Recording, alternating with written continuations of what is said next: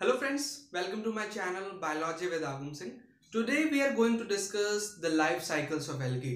कि आखिर कैसे एल्गी अपनी लाइफ साइकिल कंप्लीट करती हैं हम एल्गी की लाइफ साइकिल्स को ब्रीफ के अंदर पढ़ेंगे काफ़ी डिटेल में पढ़ेंगे कि आखिर कैसे एल्गी अपनी लाइफ साइकिल कंप्लीट करती with the help of diagram और एक एक टर्मिनोलॉजी समझते हुए इस लाइफ साइकिल्स को कंप्लीट करेंगे ताकि पिक्चराइज फॉर्म में आपके दिमाग में क्लियर हो जाए कि आखिर लाइफ साइकिल्स होती कैसी हैं। So without wasting time let's start with the topic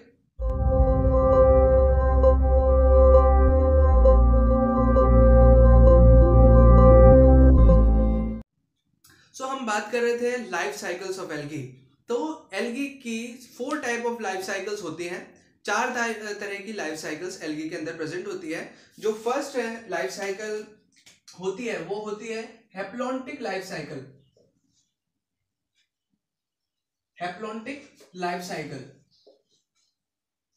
haplontic life cycle इसमें क्या होता है? जो हेप्लॉइड फ़ेज़ होता है। मतलब जैसा कि हमने पहले भी पढ़ा हुआ है कि हेप्लॉन्टिक मतलब जिसके अंदर जो सिंगल क्रोमोसोम वाला ऑर्गेनिज्म है और डिप्लॉन्टिक जिसके अंदर डबल क्रोमोसोम्स हैं। तो हेप्लॉन्टिक लाइफ साइकिल डोमिनेट करती है डिप्लॉन्टिक लाइफ साइकिल के ऊपर। इसलिए इसे बोलते हैं लाइफ साइकिल सेकंड है diplontic life cycle diplontic life cycle इसके अंदर क्या होता है, जो डिप्लॉइड फ़ेज़ है प्लांट के मतलब डिप्लॉइड जो भी बन रहा है प्लांट के अंदर, वो डोमिनेट करेगा on the haploid phase that is why this is diplontic life cycle third is life cycle isomorphic life cycle क्या है? आइसो से हमको क्या समझ रहा है? एक। आइसो मतलब एक, इसको तोड़ के पढ़े। आइसोमॉर्फिक। एक ही थैलस से मेल और फीमेल गैमेट्स जो दो गैमेट्स होते हैं, मेल और फीमेल के तो वो एक ही थैलस से ओरिजिनेट होते हैं। वो किसमें? आइसोमॉर्फिक में।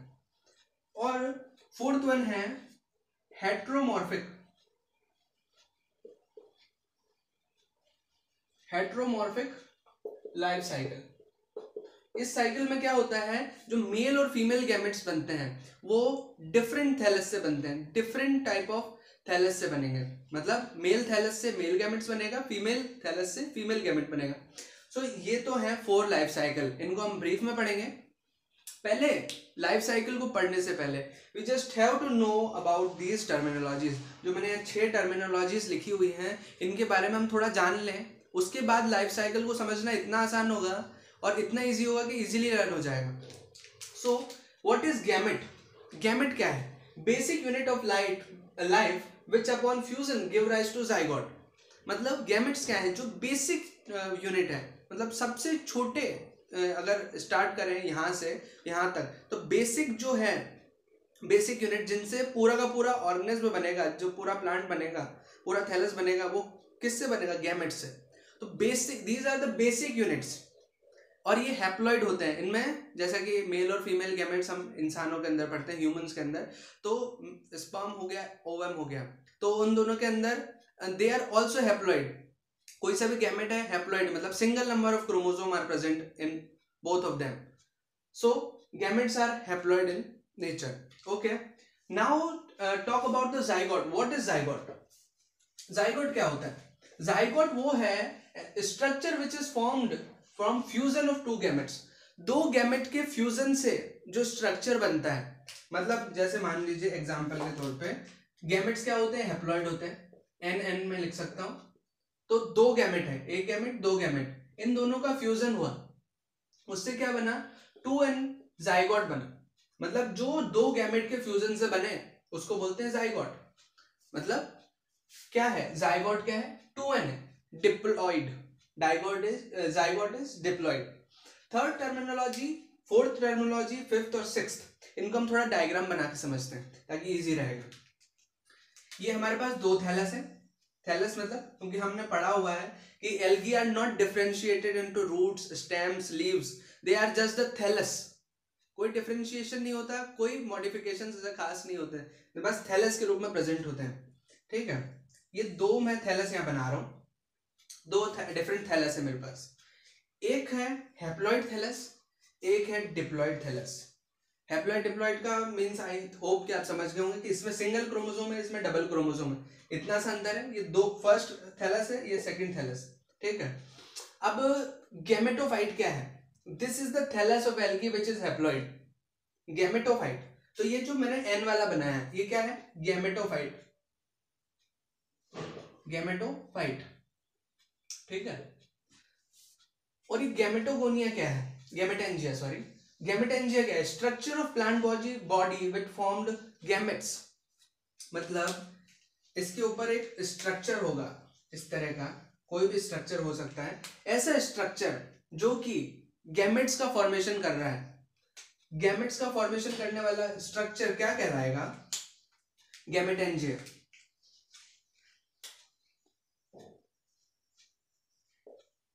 gametangia. तो यहाँ दो टर्मिनोलॉजीज हमारे दिमाग में क्लियर हो जाना चाहिए कि गैमेटोफाइट क्या है? ऐसा प्लांट का थैलस ऐसा थैलस जो कि हैप्लॉइड है। और गैमेटेंजिया क्या है? ऐसा प्लांट का थैलस का पार्ट जो कि गैमेट्स को प्रोड्यूस कर रहा है। हैप्लॉइड गैमेट्स को प्रोड्यूस कर रहा है। ये जैसे मैंने यहाँ बनाया हुआ तो ये क्या प्रोड्यूस करेगा? हैप्लॉइड गैमेट्स प्रोड्यूस करेगा। ठीक है? अब आते हैं फिफ्थ टर्मिनोलॉजी पर। क्या है? This is the thallus of algae which is diploid ये थैलस है एल्गी का जो कि डिप्लॉइड होता है। मतलब ये इसके बारे में बात हो रही है? तो ये क्या है? ऐसा थैलस है जो कि डिप्लॉइड है। इसके अंदर दो सेट्स ऑफ़ क्रोमोसोम प्रेजेंट है। ठीक है? आ, ये तो हो गया स्पोरोफाइट तो ये क्या बॉडी हुई? Sporophyte sporophyte this is the sporophyte okay now six one is sporangium sporangium क्या होता है? This is the structure which is formed. Sporophyte body and produce spores.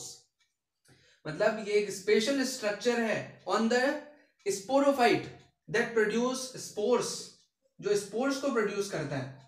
Spores को प्रोड्यूस करने वाला स्ट्रक्चर जो कि स्पोरोफाइट के ऊपर प्रेजेंट होता है, वो क्या वो कहलाता है स्पोरेंजियम जो कि क्या करता है हैप्लॉइड स्पोर्स प्रोड्यूस करता है by the process of meiosis खुद तो ये डिप्लॉइड होता है टू एन खुद तो डिप्लॉयड होता है, जैसे कि मैंने लिख भी रखा है।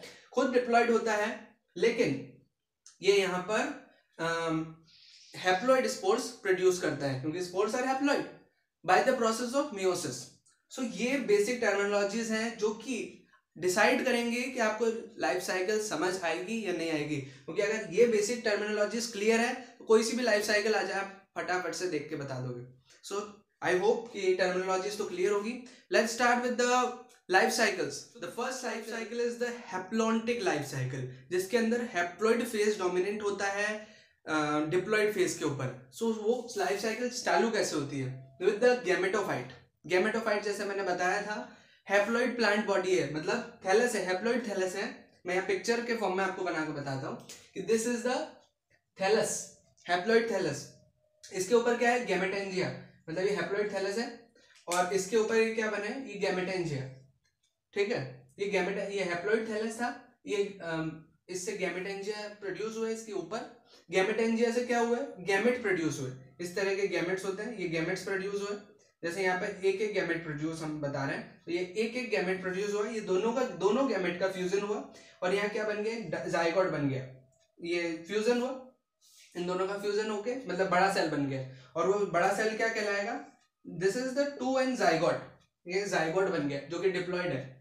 ठीक है? अब जाइगोट का क्या हुआ? मियोसिस हुआ। मियोसिस से क्या हुआ? मियोसिस से मियोस्पोर्स बने। मियोस्पोर्स क्या होते हैं? वो भी स्पोर्स होते हैं जो कि हैप्लॉइड होते हैं। ऐसे स्पोर्स जो कि हैप्लॉइड है इसलिए मियोस्पोर्स बने। मियोस्पोर्स बनने के बाद क्या हुआ? मियोस्पोर्स का जर्मिनेशन हुआ। जर्मिनेशन से क्या हुआ? गैमेटोफाइट वापस बन गया।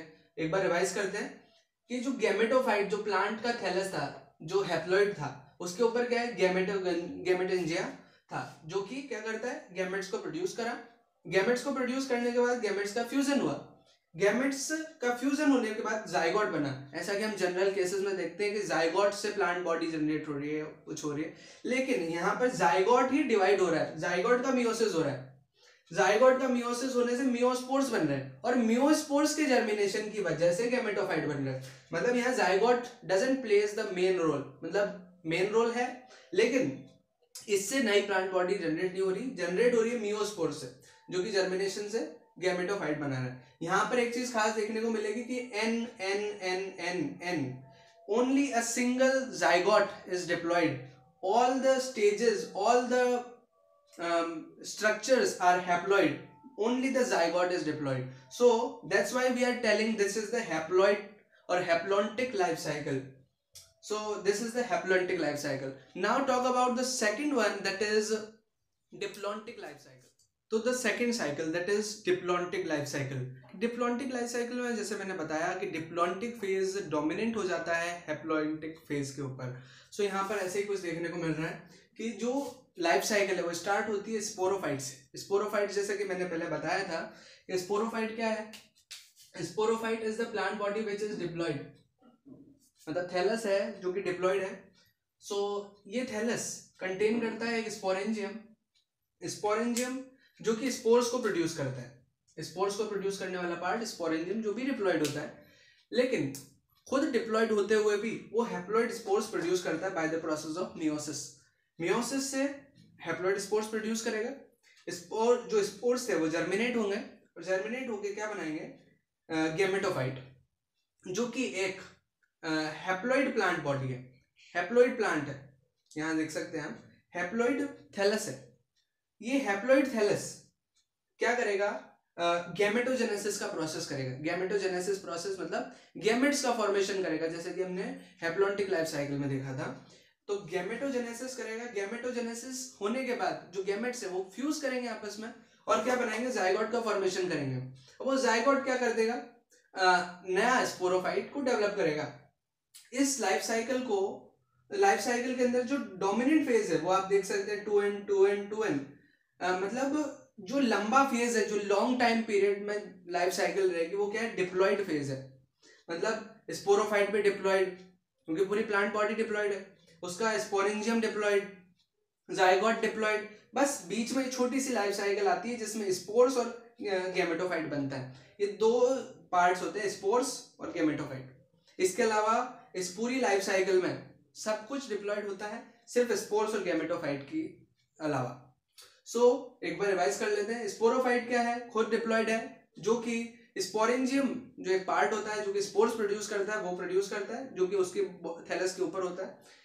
उस पार्ट का मियोसिस होने से स्पोर्स बनते हैं। स्पोर्स क्या होते हैं? जर्मिनेट होते हैं। जर्मिनेट होके गेमेटोफाइट बनाते हैं। गेमेटोफाइट जब गेमेटोजेनेसिस का प्रोसेस करता है तो गैमेट्स फॉर्म होते हैं और वो गैमेट्स फ्यूज करके आपस में फ्यूजन करके जाइगोट का फॉर्मेशन करते हैं और वो जाइगोट स्पोरोफाइट बॉडी के अंदर डेवलप हो जाता है। So this is the diplontic cycle now the third life cycle that is isomorphic कि आइसोमॉर्फिक लाइफ साइकिल में क्या होता है? आइसोमॉर्फिक लाइफ साइकिल में जो मेल और फीमेल गैमेट्स है ये मेल गैमेट्स और फीमेल गैमेट्स ये दोनों कहाँ से प्रोड्यूस होते हैं? Gametophyte single gametophyte. ये जो सिंगल गैमेटोफाइट है मतलब एक ही थैलस, एक ही थैलस जो कि हमने देखा है, जो हैप्लॉइड थैलस है, वो एक ही खुद थैलस अपने किससे? गैमेटेंजिया। जो गैमेटेंजिया पार्ट होता है, उससे दोनों टाइप के अलग अलग गैमेटेंजिया से दोनों टाइप के मेल और फीमेल गैमेट्स प्रोड्यूस करता है। इस लाइफ साइकिल की खास बात ही यही है कि एक ही प्लांट थैलस से मेल और फीमेल दोनों टाइप के गैमेट्स प्रोड्यूस हो रहे हैं। होता क्या है? गैमेटेंजिया जो कि खुद हैप्लॉइड है प्रोड्यूस करता है हैप्लॉइड गैमेट्स ठीक है? हैप्लॉइड गैमेट्स फर्टिलाइज होते हैं। फर्टिलाइज होकर के क्या बनाते हैं? जाइगोट जो कि क्या होता है? डिप्लॉइड उसके बाद क्या होता है? जो जाइगोट है, वो जर्मिनेट मतलब डेवलप होकर क्या बनाता है? स्पोरोफाइट जो कि खुद एक डिप्लॉइड बॉडी होती है। स्पोरोफाइट जैसे मैंने बताया था plant thallus which is diploid okay अब स्पोरोफाइट के अंदर क्या होता है? स्पोरेंजियम होता है। स्पोरेंजियम क्या करता है? स्पोरेंजियम के क्या करता है? स्पोर्स का प्रोडक्शन करता है। तो मियोसिस होता है स्पोरेंजियम में और मियोस्पोर्स बनते हैं। मियोस्पोर्स काफ़ी मात्रा में बन के डिवाइड होते रहते हैं अपने आप में और फिर मियोस्पोर्स का जर्मिनेशन होके वो क्या बनता है? गैमेटोफाइट्स गैमेटोफाइट जो कि एक हैप्लॉइड प्लांट बॉडी है। तो इस लाइफ साइकिल में मिलजुल के काम चल रहा है हैप्लॉइड और डिप्लॉइड लाइफ साइकिल का। मतलब डिप्लॉइड फ़ेज़ और हैप्लॉइड फ़ेज़ मिलजुल के काम कर रहे हैं। और खास बात यह है कि एक ही प्लांट बॉडी से मेल और फीमेल गैमेट्स जर्मिनेट हो रहे हैं। So this is the life cycle of isomorphic isomorphic type of life cycle in algae now the fourth one is now the fourth one that is heteromorphic life cycle इसमें सिर्फ़ इतना सा difference होता है कि जैसे आइसोमॉर्फिक लाइफ साइकिल थी, उसमें सिर्फ़ एक थैलस से मेल और फीमेल गैमेट्स बन रहे थे।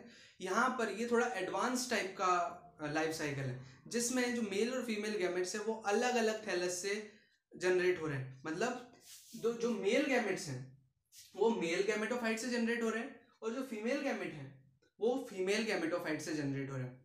So this is the large and the most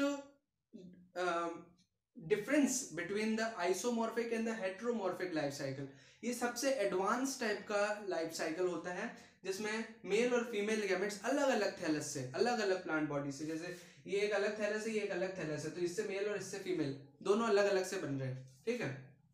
so so, इसमें पहले क्या होता है? सेम होता है बिल्कुल आइसोमॉर्फिक की तरह।